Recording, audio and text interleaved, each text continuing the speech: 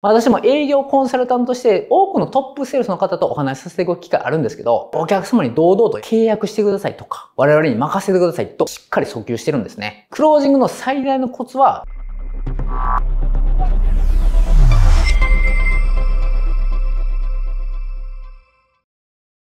こんにちは。前戸で即決営業営業コンサルタントの辰巳です。今日はこのテーマですね、クロージングについてです。私自身営業コンサルタントとして、年間100名以上の営業マンの方とお話しさせていただいてるんですけど、きちんとクロージングしている営業マンって売り上げやっぱりいいんですよ。クロージングってめちゃくちゃ大切です。クロージングをね、しっかりできると売り上げにも直結してくるんで、皆さんもしっかりクロージングしていってくださいね。そもそもクロージングっていうのが何なのかというと、クロージングを直訳するとですね、終わりや締めくくりなどを意味する言葉で、迷ってるお客様の背中を押してですね、しっかりと決断させて、その商談を終わらすことがクロージングなんですね。クロージングを難しく考えている方もいらっしゃいますが、至ってシンプルなんです。クロージングとはつまり訴求することなんですね。自分の気持ちをはっきり伝えて、すなわち契約してくださいとか、我々にお任せくださいとか、ぜひね、ご決断くださいとか、こうやって伝えてですね、訴求していくことなんですよ。この訴求の反対で、ここで絶対にやったらあかんことがお伺いです。例えば、契約しませんか？とか、我々に任せてもらえないですか？とか、ぜひあの、ご決断していただいたらいいなと思ってます。これは訴求ではなくお伺いですね。なんかこのように自信なくお伺いされて、あなたに任せようと思いますかってことなんですよ。このクロージングをですね、すなわち訴求するか訴求しないかでですね、売上とか契約率でこれ結構変わってきます。世の中には契約をきちんと取ってくる営業マンと、契約を取りこぼしてる営業マンがいてるんですけど、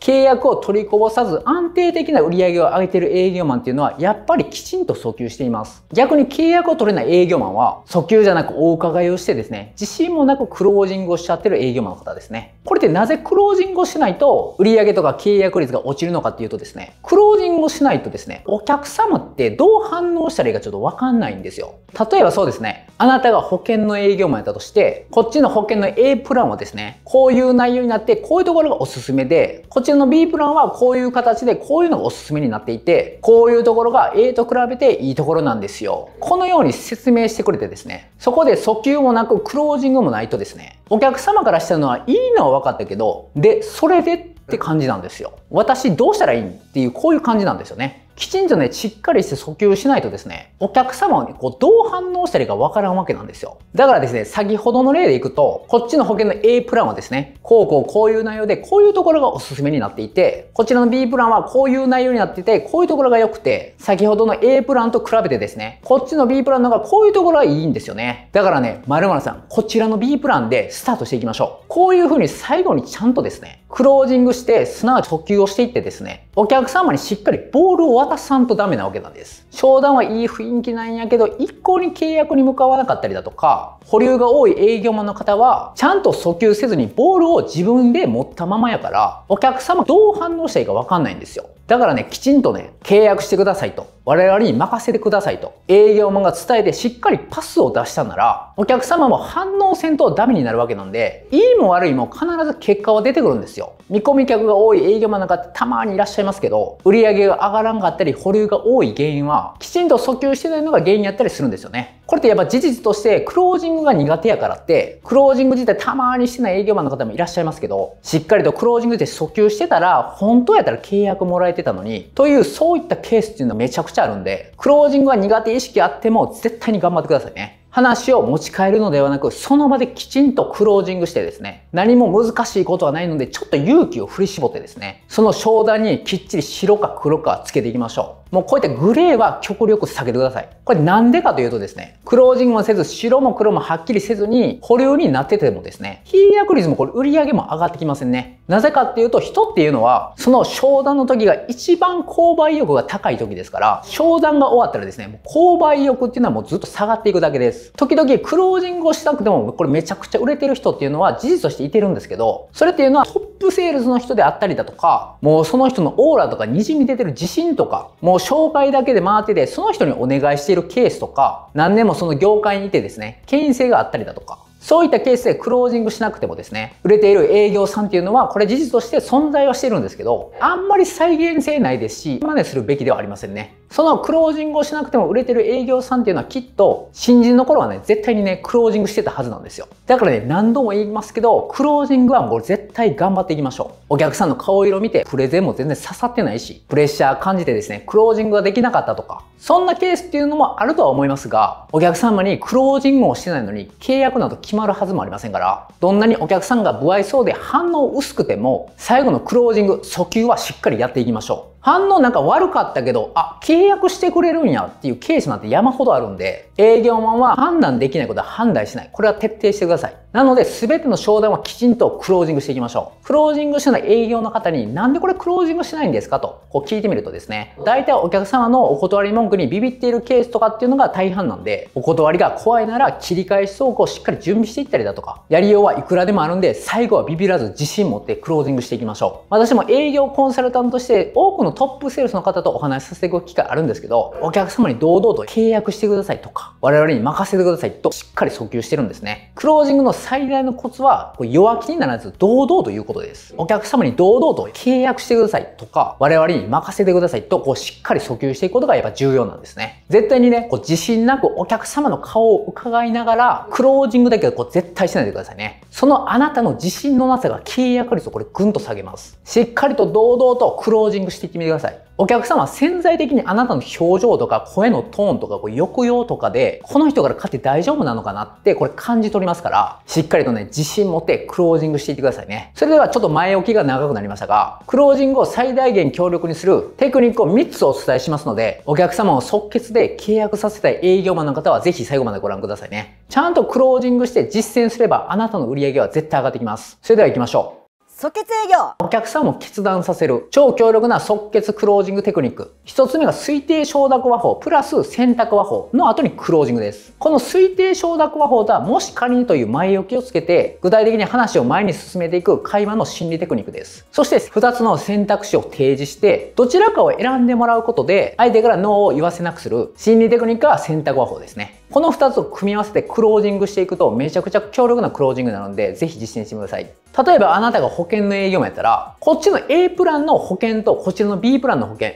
もし仮に契約するんやったら、〇〇さんどっちのプランの方がよろしいですか？そのままどちらか選んでもらって、お客様が、うん、どっちやろうって、これまた悩んでたらですね、〇〇さん、もし仮にで大丈夫なんで、仮に A と B やったら、こうどっちがいいですか？もし仮にという前置きを置いたら、そしたらお客さんもですね、もし仮に自分が選ぶんやったら A プランの方がええかもしれないですね。で、こんな感じで答えてくれますから、選んでもらった後にここでズバッと訴求していくんですよ。ああ、A プランですね。ありがとうございます。それでは、〇〇さん、この A プランで我々と一緒にスタートしていきましょう。まあ、こんな感じでもいいですし、A プランですね。ありがとうございます。それでは、〇〇さん、この A プランでご決断ください。こんな感じでもいいですね。しっかりとお客様に商品とかプランを選んでもらってですね、クロージングをかけていきましょう。推定承諾和法と選択和法をきちんとうまいこと使えれば、クロージングを打つ前につまずくことがなくなりますから、スムーズにクロージングまで行くことが可能になるんですよ。このテクニックを使ってですね、絶対に全ての商談にクロージングをかけていってほしいんですよ。これをしっかり使えればですね、クロージングできなかったっていう商談はなくなりますから、今日から使えるテクニックですし、お客様自身が商品とかプランを選んでもらってるんで、契約率が売上も絶対にアップしていきます。しっかり使いこなして自信たっぷり訴求していけば、あなたの売り上げも安定してきますから、ぜひね、現場でね、実践してください。それではお客様を決断させる超強力な即決クロージングテクニックの2つ目ですね。これがですね、お客様の言葉プラスクロージングです。これもめちゃくちゃ強力なんで、ぜひね、今日から試してください。お客様の言葉でクロージングするんやって、これどういうこっちゃって思う方もいらっしゃると思うんですけど、お客様に商品やサービスのいいところを先に喋ってもらってですね、それをクロージングの時に使うんですよ。例えばですね、あなたが保険の営業もやったとしましょう。いろいろプレゼンバーっとした後でですね、こうやって聞いていくんですよ。まるまさん、今まで話した保険ならどの保険がいいなって思ってくれました？で、お客さんがこの保険ですねって言われたら、すかさずまた営業マンが、まるまさん、この保険の具体的にどこがいいなって思ってくれました？ここでまたその選んでもらった保険のいいところをお客さんの口から具体的に聞くことなんですよ。そしたらお客さんが例えば、この保険なら死亡保障が充実していて、私に何かあった時家族が安心ですね。まあこんな感じで答えてくれたとしましょう。その言葉をね、しっかり我々営業マンをね、頭に刻み込んどいてください。そして終盤のクロージングになったらですね、丸村さん、本日はたくさんの保険の種類の中からいろいろ選んでもらいましたけど、丸村さんにぴったりなオーダーメイドの保険を3つ作成させていただきましたが、もし仮にご契約するなら A プランと B プランと C プラン、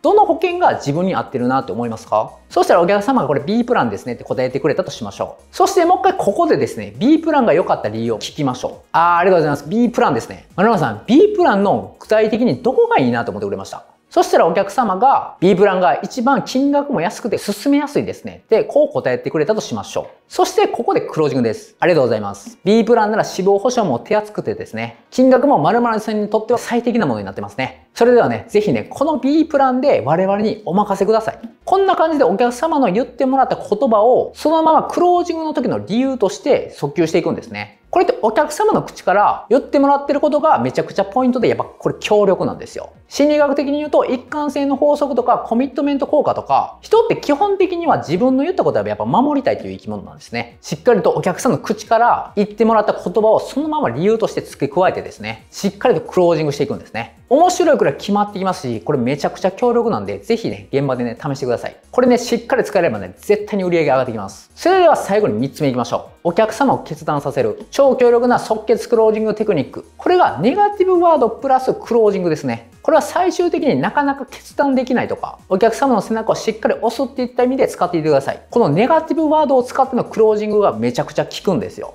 その代わりに契約を決まらんかったらお客さんに嫌われる可能性あるんで、しっかりね、慎重にね、使ってください。例えば先ほどの保険の営業マンの方で、最初お客さんが、うん、どうしようかな、迷ってんなってなってたら、この保険に入らないってことは、これ〇〇さん、万が一〇〇さんに何かあった時に、家族を見捨てることになるんですよ。だからね、〇〇さん、本日こうやって貴重なお時間使って、こうやって保険の話聞いてくれてるわけですから、ぜひね、この場でね、ご決断ください。まあ、こんな感じとか、この保険に入らなかったらですね、〇〇さんに万が一何かあった時に、もう家族がね、路頭に迷っちゃいます。だからね、〇〇さんは一家の大黒柱なんで、家族を守るって言って意味で、ぜひね、この場でね、バシッと決断してください。こんな感じですね。ネガティブなワードを使ってクロージングしていくんですよ。お客様っていうのは心が動いた時に決断するんです。このネガティブなワードっていうのは強烈にお客様の心を揺さぶるわけですね。心理学的に言うと、これプロスペクト理論って言って、人っていうのは得するより損したくない方に強烈に引っ張られていくんですね。100万円手に入りますよって言われるより、そのままにしといたら、あなたの100万円が失うことになりますよと、こういうやっぱ損したくない方に人っていうのは強烈に引っ張られていくんですね。ですからね、しっかりとここはね、ちょっと嫌われる覚悟を持ってですね、お客様のためやと思って、言いにくいネガティブな言葉もズバッと言って、お客様にしっかり決断してもらうっていった意味でクロージングしていきましょう。しっかり嫌われる覚悟を持って訴求していくことで、お客様に何か響くものもあるかもしれませんし、決断していただくためには、ネガティブな訴求も必要な場面っていうのはもう絶対あります。いいも悪いもしっかりその場で決断させていく営業マンがトップセールスです。あなたもね、ぜひね、ポジティブなことだけ言うのではなく、このネガティブなワードも使ってですね、しっかりとクロージングしていってくださいね。このネガティブな言葉がお客様にしっかり刺されば、お客様も決断してくれます。本日は3つお客様を決断させる超強力な即決クロージングのテクニックを保険の営業マンの例をしてお伝えさせていただいたんですが、これ皆さん聞いてみてどうでしたか？自分もなんかちょっとできそうやなって思ってくれませんでした？そう思っていただいた理由はね、とにかくこれでシンプルで、具体的なトークを私がお伝えしてるからなんですよ。よくありがちなんですけど、自信持ってクロージングしていけとか、お客様の背中をもっと自信持って押していけとか、こういう抽象的な言葉じゃやっぱりダメです。ですそれを言われたところでなんかどうしたらいいかも分からへんし、次の営業の現場で良くなるそういった期待感もあんまりないですし、なんかね、感覚でやっとったらやっぱその場その場の訴求になっていくんで、売り上げにやっぱ波出てくるんですよ。理由は簡単で抽象的でぼやっとしてるんで、なんか今の自分の営業が良くなる未来が見えてこないわけなんですね。ただ本日はですね、具体的なクロージング投稿ですね。保険の営業マンを例にしてちゃんと一個一個お伝えしましたよね。ネガティブワードとか選択和法とかを用いてですね、具体的になんか自分もできそうってこれしっかり使えれば、ちょっと営業も良くなりそうやなっていう、これ未来が見えたはずなんですよ。その感覚をお客さんにもしっかり上げてほしいわけなんですね。お客様もその商品を導入したりだとか、そのサービスを買ったら、なんかええ未来ありそうやなって、それでぼやっとした抽象的な未来をですね、具体的にイメージさせてあげるとですね、きっとお客様も契約に進んでいってくれるわけなんです。本日はクロージングの重要性を理解していただいたと思うんですけど、結局なぜこの具体的なトークができるかっていうことなんです。これって人が購入に至る購買意欲であったりだとか、購入しようと思う深層心理ですね。この大元がやっぱり心理学なんですね。営業で売り上げを上げていったり、こうトップセールスになりたいなら、ここをやっぱしっかり学ぶことが大切なんですよ。ここを学んだらですね、勝手にやっぱトークというのは作られていくんです。ですから、そうやな、確かに私も全然学んでこなかったなって思った方はですね、しっかり学んで、やっぱ具体的なトークを持って、やっぱ商談に向かわんとダメなわけですし、ただね、これ、正直ちょっと言っちゃいますと、やっぱり作るのめっちゃ時間かかります。途方もなくて、これ結構な時間これ費やしてしまうわけですから、そのトークっていうのも合ってるか合ってないかさえわからないわけなんですよ。しかも作ってる時ってやっぱしんどいし面倒です。でもね、これね、ご安心ください。そんな時間も労力もないし、もっと早く売り上げを上げていきたいぞと思った方は、本当にこれちょうどよかったです。私のこうセミナーに参加してみてください。なぜなら私のセミナーが心理学を応用した具体的なトークとかも教えたりしてるわけなんですけど、それをね、営業に特化してお伝えしてるんですね。いろいろ心理学っていうのはありますけど、しっかりと営業で使える心理学に特化して、厳選して現場で使えるトークっていうのをセミナーでお伝えさせていただいてるんですよ。まあですからすぐに現場で使えますからすぐに結果が出ます。参加いただいた方はもう1年目からトップ取りましたわとか、そういった方もいらっしゃいますし、私自身もこれ即決営業入って事実としてこう1年目でトップ取ったんですよ。これってなぜかっていうとこれ自分の力っていうよりかは、やっぱり心理学を応用した売れるトークっていうのを手に入れて現場で実践したからなんですね。もう売り上げもめちゃくちゃに上がりましたわとこれめちゃくちゃ喜んでくれてますから、ぜひね、セミナーに来てみてください。あなたの期待をきっちり超えるセミナーにさせる自信もありますし、毎週ウェブでもやってますし、全国から参加加可能なんで、ぜひね、ご参加お待ちしてます。即決営業。それでは今回はお客様を決断させる超強力な即決クロージングテクニック3選についてご紹介しましたが何度も言いますけどクロージングで一番大切なことは自信を持って訴求していくことです。目の前のお客様が購入するかこれ迷っているならしっかりとクロージングをしてですね背中を押してですね決断させていってください。例えば仮にあなたが自分のパーソナルトレーナーで何年も痩せたいなって思った人がですねやっとの思いで重い腰上げてですね、そのあなたの自分の体験に来てくれてですね、そのまま体験だけで終わらせてしまったら、その人は帰ってまた何年もの間、ああ、やっぱ痩せたいなと思って暮らしていくわけなんですよ。だからですね、しっかりと決断させて契約に向かわせてください。そうすればそのお客様もね、その何年も痩せたいなって思ってた問題がですね、やっと本格的に解決に向かって動き出していくわけなんですね。だからね、あなたが営業マンであるならば、お客様の問題をしっかり解決させるっていった意味でも、しっかりとお客様に決断させていってください。そして自分自身も営業マンとして、もっとお金稼いでいこうとか、ナンバーワンとかトップセールスになりたいなとか、そう思ってるだけでなく、しっかりとその目標に向かって絶対達成していくんだという決断をしてください。自分でしっかり決断できる人がですね、最終的にお客様を決断させて背中を押すことができますし、人って重要な決断ができれば自分中心に世界回っていきますから、